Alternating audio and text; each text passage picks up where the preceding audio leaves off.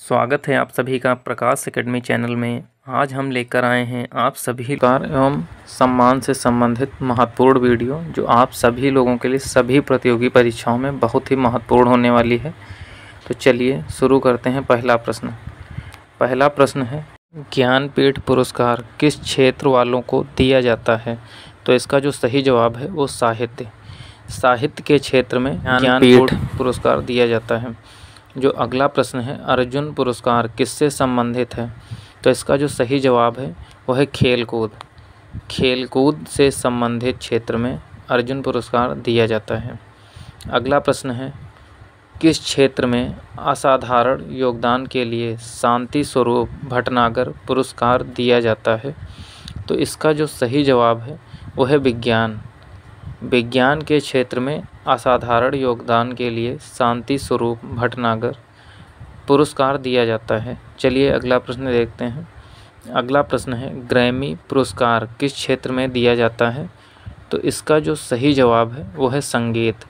संगीत के क्षेत्र में ग्रैमी पुरस्कार दिया जाता है। चलिए अगला प्रश्न देखते हैं दोस्तों।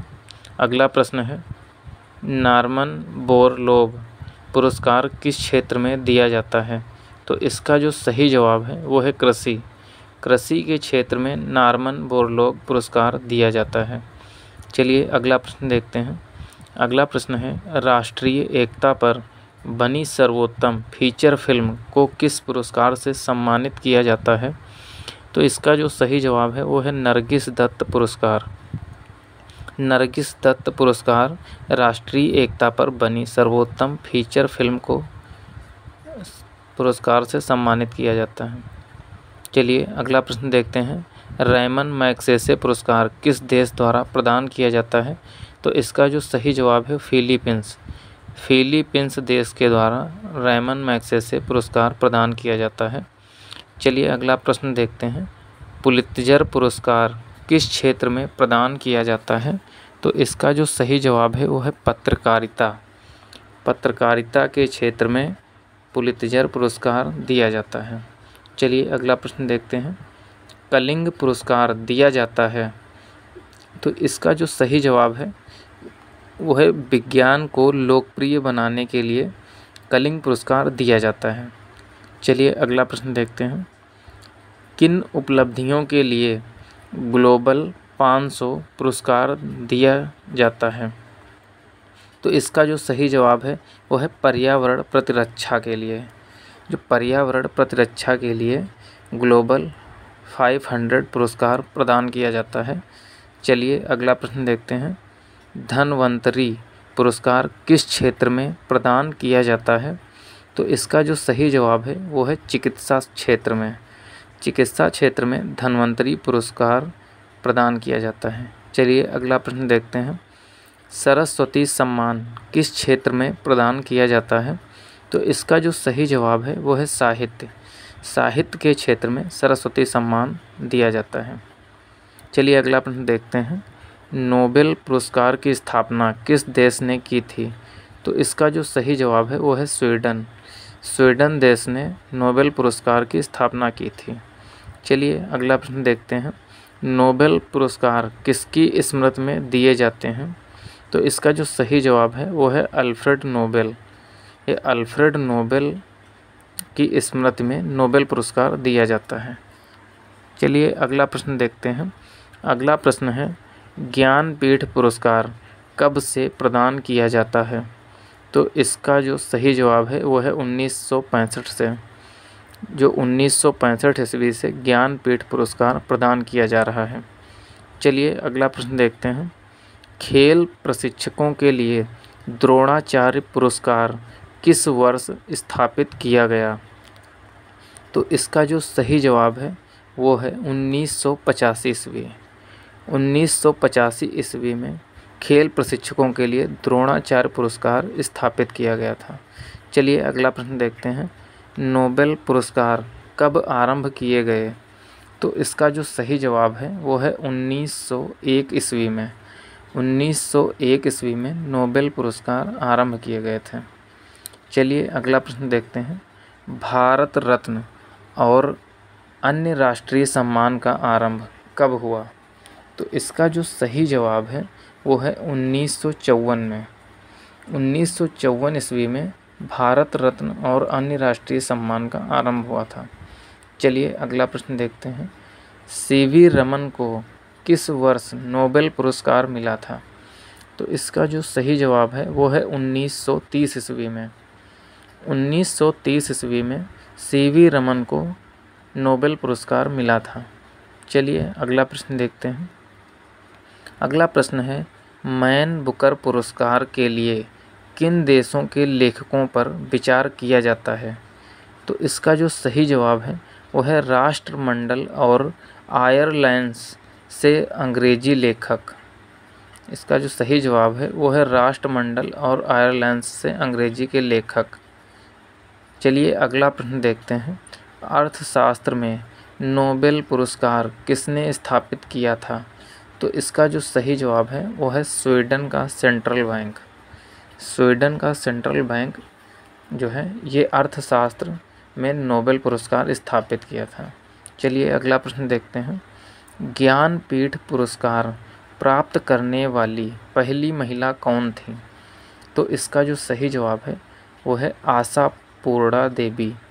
जो आशा पूर्णा देवी थी, ये ज्ञानपीठ पुरस्कार प्राप्त करने वाली पहली महिला थी। चलिए, अगला प्रश्न देखते हैं। अगला प्रश्न है के के बिड़ला फाउंडेशन द्वारा उन्नीस सौ बानबे में साहित्य के क्षेत्र में उत्कृष्ट योगदान के लिए किस सम्मान की स्थापना की गई? तो इसका जो सही जवाब है वो है सरस्वती सम्मान।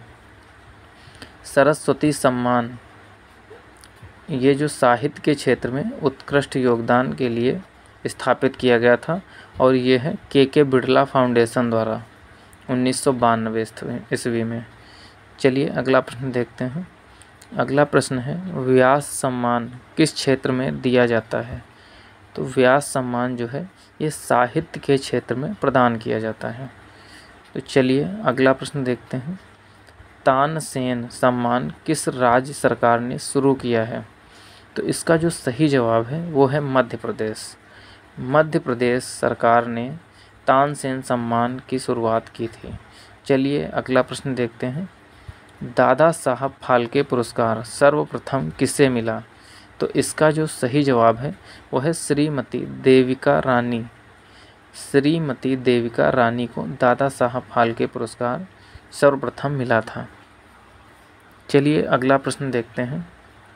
मैग से पुरस्कार से सम्मानित होने वाले प्रथम भारतीय हैं। तो इसका जो सही जवाब है, वो है आचार्य विनोबा भावे। आचार्य विनोबा भावे को मैक्सेसे पुरस्कार से सम्मानित किया गया था और ये प्रथम भारतीय थे। चलिए अगला प्रश्न देखते हैं। अगला प्रश्न है, रविंद्रनाथ टैगोर को साहित्य के क्षेत्र में किस वर्ष नोबेल पुरस्कार दिया गया? तो इसका जो सही जवाब है, वो है 1913 ईस्वी में। 1913 ईस्वी में रविंद्रनाथ टैगोर को साहित्य के क्षेत्र में नोबेल पुरस्कार प्रदान किया गया था। चलिए अगला प्रश्न देखते हैं। सी वी रमन को किस वर्ष नोबेल पुरस्कार दिया गया?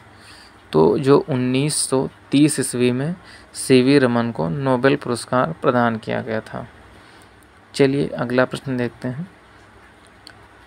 जो अमृत सेन को किस वर्ष अस्थ अर्थशास्त्र का नोबेल पुरस्कार दिया गया था, जो प्रोफेसर थे अमृत सेन जी। इनको किस वर्ष अर्थशास्त्र का नोबेल पुरस्कार दिया गया था? तो इसका जो सही जवाब है, वो उन्नीस सौ अट्ठानबे ईस्वी में उन्नीस सौ अट्ठानबे ईस्वी में प्रोफेसर अमृत सेन को अर्थशास्त्र का नोबेल पुरस्कार दिया गया था। चलिए अगला प्रश्न देखते हैं। सुब्रमण्यम चंद्रशेखर को किस क्षेत्र में नोबेल पुरस्कार मिला? तो इसका जो सही जवाब है, वो है भौतिकी। तो भौतिकी के क्षेत्र में नोबेल पुरस्कार दिया गया था सुब्रमण्यम चंद्रशेखर जी को। चलिए अगला प्रश्न देखते हैं। अर्थशास्त्र के क्षेत्र में नोबेल पुरस्कार किस वर्ष से प्रदान किए जा रहे हैं? तो इसका जो सही जवाब है, वो है उन्नीस सौ ईस्वी से। उन्नीस सौ ईस्वी से अर्थशास्त्र के क्षेत्र में नोबेल पुरस्कार प्रदान किया जा रहा है। चलिए अगला प्रश्न देखते हैं। एशियाई नोबेल पुरस्कार के नाम से जाना जाता है। तो इसका जो सही जवाब है, वो रैमन मैक्सेसे पुरस्कार। रैमन मैक्सेसे पुरस्कार को एशियाई नोबेल पुरस्कार के नाम से भी जाना जाता है। चलिए अगला प्रश्न देखते हैं। दादा साहब फाल्के पुरस्कार प्रदान किया जाता है। तो इसका जो सही जवाब है, वो है सूचना एवं प्रसारण मंत्रालय, भारत सरकार द्वारा। इसका जो सही जवाब है, सूचना एवं प्रसारण मंत्रालय, भारत सरकार द्वारा दादा साहब फाल्के पुरस्कार प्रदान किया जाता है। चलिए अगला प्रश्न देखते हैं। अगला प्रश्न है आस्कर पुरस्कार प्रदान किया जाता है। तो इसका जो सही जवाब है, वो national academy of motion picture arts and sciences द्वारा। तो इसका जो सही जवाब है, वो national academy of motion picture arts and sciences द्वारा आस्कर पुरस्कार प्रदान किया जाता है। चलिए अगला प्रश्न देखते हैं। ज्ञानपीठ पुरस्कार प्राप्त करने वाला प्रथम हिंदी लेखक कौन था? तो इसका जो सही जवाब है, वो है सुमित्रा नंदन पंथ सुमित्रा नंदन पंथ जी ज्ञानपीठ पुरस्कार प्राप्त करने वाले प्रथम हिंदी लेखक थे। चलिए अगला प्रश्न देखते हैं। सरस्वती सम्मान के प्रथम प्राप्तकर्ता हैं। इसका जो सही जवाब है, वो है हरिवंश राय बच्चन। हरिवंश राय बच्चन जी सरस्वती सम्मान के प्रथम प्राप्तकर्ता थे। चलिए अगला प्रश्न देखते हैं। भारत रत्न से विभूषित प्रथम विभूति हैं। जो इसका सही जवाब है, वो डॉक्टर एस राधा कृष्णन जो डॉक्टर एस राधा कृष्णन हैं, ये भारत रत्न से विभूषित होने वाले प्रथम विभूति हैं। चलिए अगला प्रश्न देखते हैं। अगला प्रश्न है, मरणोपरांत भारत रत्न पुरस्कार से सर्वप्रथम किसे सम्मानित किया गया था? तो इसका जो सही जवाब है, वो है लाल बहादुर शास्त्री।